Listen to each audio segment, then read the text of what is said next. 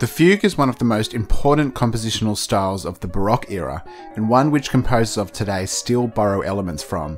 It is a must have for your composition repertoire. So, what is a fugue? It is a work of polyphonic textual writing, consisting of overlapping and interacting melodic lines. It is based on a short theme called a subject, and can be written for any number of voices, but usually around 3 to 5. It's mostly written for keyboard instruments like a harpsichord or the organ. To understand how a fugue really works, let's examine a work from the master of fugue himself, J.S. Bach. His Little Fugue in G minor was written for organ. The opening of a fugue is really the only composition element where there are rules we must follow. Beyond that, we're free to experiment. For our purposes, we will only examine the opening section of the fugue, the exposition. Here is an overview of Bach's exposition. When talking about the different ranges and roles of melodic layers, we use the language of the four main vocal ranges soprano, alto, tenor, and bass. The subject appears once in each of these vocal ranges. When the subject is heard for the first and third times, it is in the original key of G minor. When it appears for the second and fourth times, it is stated in a different key and is known as the answer. Lastly, in a fugue, we don't harmonize this subject with chords like in a homophonic texture, but rather we want to create a polyphonic texture by writing a melody at the same time as the subject, shown here in green, known as the counter subject. Let's take a look at Bach's subject. We notice from the key signature, the starting and ending notes, and the raised seventh of F sharp, that it is in G harmonic minor. Now, even though when we first hear the theme it is in a solo voice to start off with, when you write your subject, you should have an idea of the harmonization you will use to, when you write it. Bach's theme implies simple tonic to dominant chords. Here it is.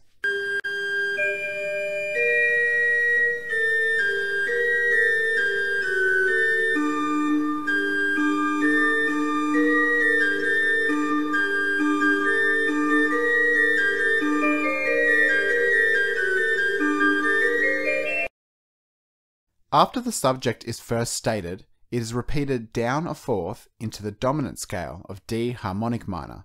This is sometimes known as the answer. This appears in the alto voice range. Note the use of accidentals of the raised seventh of C sharp and the E natural to fit in with the D harmonic minor scale. The third statement of the subject is heard in the original key, except this time Bach starts the subject on the third beat of the bar. This is stated in the tenor voice range. Our last iteration of the subject answer will appear in the bass voice range, or the pedals of the organ in the little fugue, and will again be in the dominant key. We now get to the fun part of writing some polyphony. Remember that the counter subject first appears above or below the subject answer. Just a reminder that this is in the dominant scale, and your two-part writing should follow the harmonic progression that you first write when you write your subject. The most important part about writing a fugue is to maintain part independence. You don't just want to fill space, but rather you want to create a cohesive melodic line that could stand on its own. We can do that rhythmically by using complementary rhythms in the other part. This may mean not using rhythmic unison, parts with the same rhythmic value, and not having empty space when there are longer note durations occurring at the same time. This disrupts the forward motion of your fugue. Harmonically, we need to observe a few rules of counterpoint, namely the more imperfect consonances we can use, the better, i.e. major or minor, thirds and sixths. These will help outline the horizontal chordal movement. Because perfect intervals like a fifth or an octave don't have quality, meaning that they can't be major or minor, as a result, they don't give us that sense of the chord and ruin the strength of our harmonic progression. The golden rule is to never use octaves or fifths in succession. Instead, follow each with an imperfect consonance like a third or a sixth. Here is Bach's counter subject, stated first in the soprano voice. Notice the use of complementary rhythms throughout, creating that Baroque spirit of rhythmic momentum.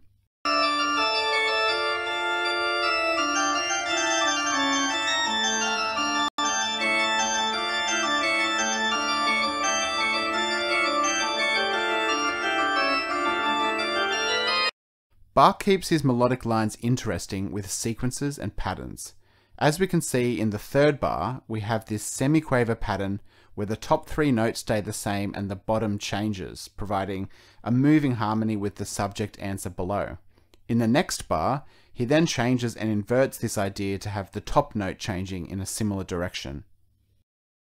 Now taking a closer look at Bach's two-point counterpoint, we can see some of our guidelines in play. Remember that Bach is using simple tonic to dominant harmony.